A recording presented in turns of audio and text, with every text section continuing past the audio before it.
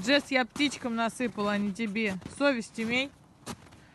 Батутик наш, немножко снегу. Колено, ой, снега где-то по колено. Елочка наша. За окном опять сугробы. А у меня велосипед, а Джесси жрет хлебушек для птичек. Фасолька там висит.